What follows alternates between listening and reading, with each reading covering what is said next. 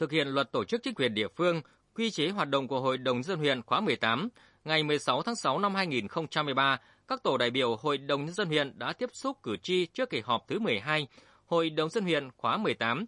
nhiệm kỳ 2021-2026 tại các xã gồm Đồng Thắng, Vân Sơn, Thái Hòa, thị trấn Triều Sơn, Dân Lực, Thọ Vực, Xuân Thọ, Hợp Thắng, Triệu Thành, Thọ Tiến.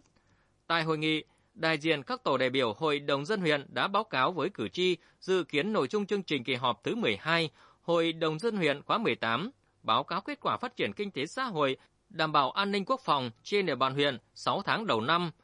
phương hướng, nhiệm vụ các tháng cuối năm 2023, báo cáo trả lời các ý kiến kiến nghị của cử tri gửi đến kỳ họp thứ 8 Hội đồng dân huyện khóa 18. Trên tinh thần thẳng thắn, cởi mở, cử tri các xã thị trấn đã kiến nghị tới các tổ đại biểu Hội đồng dân huyện một số vấn đề như cần xây dựng nâng cấp các kênh mương tưới tiêu phục vụ cho sản xuất nông nghiệp, giải quyết khó khăn vướng mắc để cấp giấy chứng nhận quyền sử dụng đất cho nhân dân.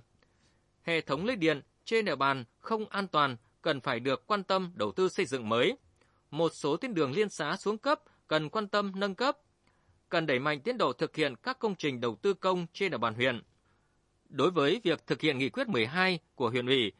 đề nghị huyện quan tâm hỗ trợ kinh phí thêm cho các thôn và nhân dân, nhất là việc hỗ trợ người dân giấy chứng nhận quyền sử dụng đất sau khi đã hiến đất, di rời hệ thống cột điện ra khỏi lòng đường, quan tâm đến công tác giải phóng hành lang sông Nhơm đảm bảo tiêu thoát lũ. Sau khi sáp nhập thôn, một số nhà văn hóa thôn dư thừa gây lãng phí, đề nghị huyện sớm có kế hoạch để thanh lý, chuyển mục đích sử dụng cho phù hợp.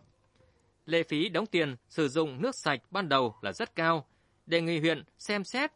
tăng cường tuần tra kiểm soát, xử lý nghiêm tình trạng xe chở quá khổ quá tải. Sau khi nghe các ý kiến phát biểu, đề xuất của cử tri, đại diện các địa phương đã tiếp thu và trả lời các ý kiến thuộc thẩm quyền đại diện các tổ đại biểu Hội đồng Nhân dân huyện đã phát biểu tiếp thu các ý kiến, trả lời một số nội dung thuộc thẩm quyền, đồng thời tổng hợp tất cả các ý kiến còn lại để trình Hội đồng Nhân dân huyện và chuyển đến các cơ quan chức năng xem xét giải quyết.